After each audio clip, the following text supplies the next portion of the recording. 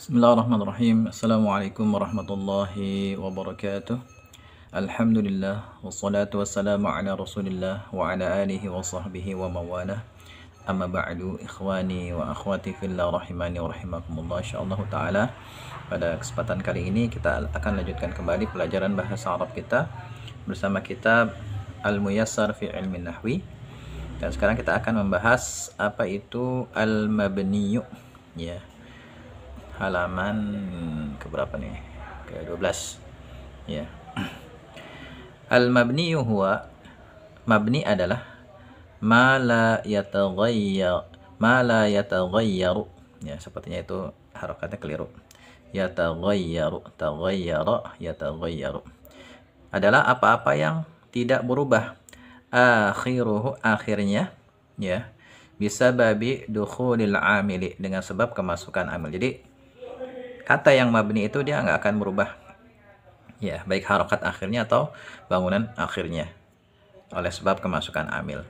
Mislu contohnya darasa haza ini telah belajar ra'aitu haza aku telah melihat ini marartu bihadza aku telah berpapasan dengan ini. Ya haza ini atau perhatikan di situ tulisannya tetap haza haza dan haza ya atau bisa kita ganti jadi zalika. Darasa zalika raaitu zalika marartu bi zalika.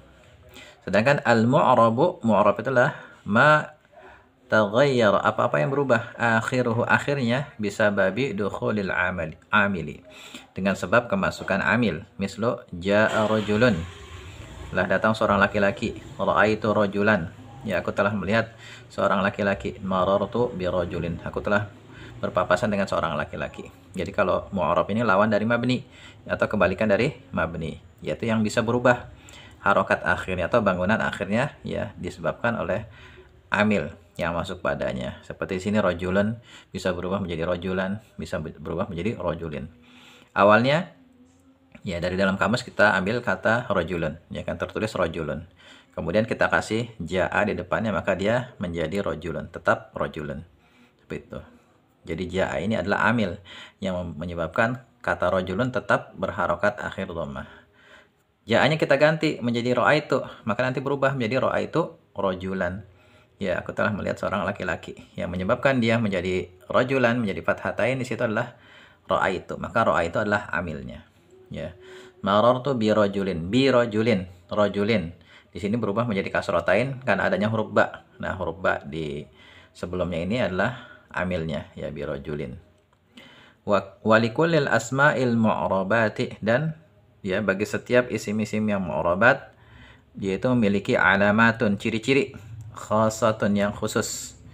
Ya isim-isim yang mu'rab kita sudah bahas kemarin 9 isim yang mu'rab.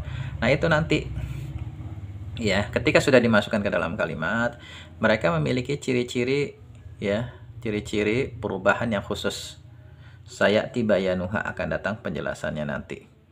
Ya, jadi nanti setelah ini kita akan bahas di sini ya ciri-ciri isim yang mu'arab ya ketika sudah dimasukkan ke dalam kalimat ciri-ciri perubahan ya. Ciri-ciri perubahan masing-masing memiliki ciri-ciri perubahan yang khusus. Isim mufrad ciri perubahannya khusus. Isim musana ciri perubahannya khusus dan lain sebagainya.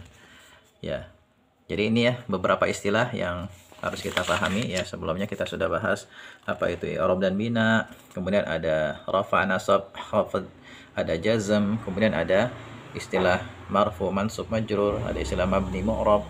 Ya istilah-istilah ini ya hendaknya dipahami dengan baik. Insya Allah setelah ini kita akan bahas tanda i'rab pada isim yang mu'rab. Demikian ya semoga bermanfaat. Assalamualaikum warahmatullahi wabarakatuh